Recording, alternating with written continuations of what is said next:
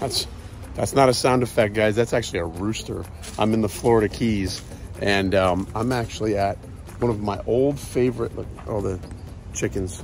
Um, I'm actually at one of my old favorite moth collecting sites. This is the Publix on Key Largo, uh, mile marker 101. Um, a few years back, they changed the lights, and now they don't. You have those old fluorescents anymore. They have different, like, updated lighting, but this used to be an amazing spot for moths. I walked these halls, both the up, up and down stairs here, and I found something really, really cool. And I'm super excited because we are gonna show you um, how to get eggs from an Io moth. All right, we're gonna we're gonna do this whole thing where we show you, we catch the moth, we find it, and we're gonna show you the the system that we do in order to be successful in getting your moth to lay eggs, guys. Uh, the Florida Keys Io moth is pretty special. I'm gonna show you more about it in this video. Check this out. All right, we're gonna come around the corner and see what we can find here. Walls don't look, there's not a whole lot. Oh, oh, oh, oh, oh, oh, oh, oh. Oh, oh guys, Io moth. Female Io, guys. Look at these eyes. Oh, sweet. Here's what we're gonna do. We are going to take her. Oh, this is awesome. Uh, the Florida Keys subspecies of the Io moth is actually very, very cool because it's different colors than the Io moth in the rest of the country. Guys, I've never reared this thing. I've tried to get eggs a few times. I've never been successful. So we're gonna try it this time and see what happens. All right, so what I did with this Io moth, guys, I'm gonna do something a little different. Um, we caught this girl, there she is sitting there, and um, most silk moths, when you put them in a container, you don't need host plant at all. You can just, you know, put them in a container and, or an envelope or whatever, and the female will just lay eggs just because she needs to get rid of them.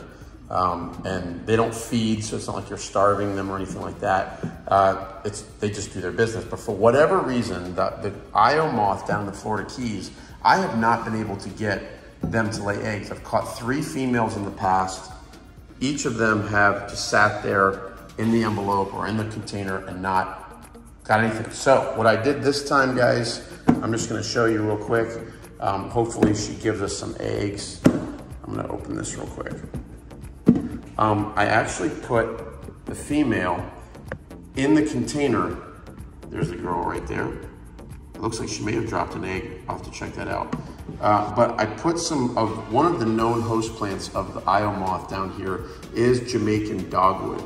And so I put some Jamaican dogwood leaves in a water pick just to see if it stimulates egg laying. So uh, guys, what we'll do is I'm just gonna leave her in here.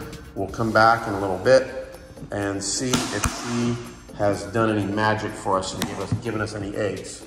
I'm crossing my fingers because I've been on this project for 21 years and I wanted to breed this the Florida Keys version of the Io moth and I've not been able to. So if she gives me some eggs, that'll be a first. Okay guys, it's been a day and we're going to check out our Io moth container and see what's going on, see if she gave us any eggs. And oh my gosh, guys, I, I see it already. Look at this. Oh, baby. Well, she's impressive. She is very impressive. And it looks like there's an egg right there on top. Okay, but what I'm looking at is behind her. Look at this right here, guys. That is the money right there. So that is super exciting, guys, because it, it's been a frustration trying to get eggs from this species, and because it's just they just haven't. She hasn't. They haven't given me eggs, um, and so for whatever reason, um, this one's this subspecies seems to want prefer to have the stimulation of the host plant in order to lay eggs. So she's still got plenty of eggs left in that abdomen of hers. So hopefully she'll continue to do business. And um, thank you so much, Mrs. Io Moth, for your cooperation and support of the Keys Moths channel.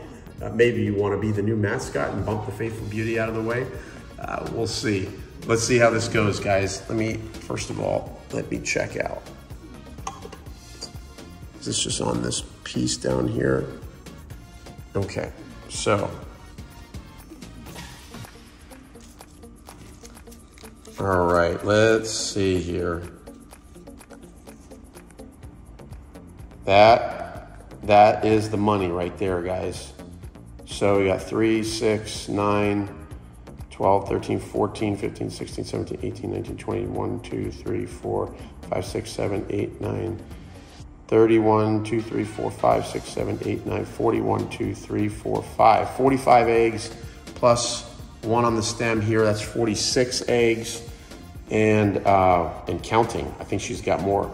So let's see how these guys do. Guys, this is how you get eggs from silk moth. Sometimes species just need a little bit of help from the chemical stimulation of their host plant. Uh, but guys, if you if you uh, like the video, you know, make sure you subscribe if you haven't done so already. And it supports our Keys Moths channel when you like and comment on the videos. Guys, comment down below. What are some methods that you've gotten, had success with getting moths to lay eggs in captivity? Um, guys, I'm excited. Stay tuned for more episodes coming up about this, this Io moth cluster of eggs that we have. We're gonna see how they do.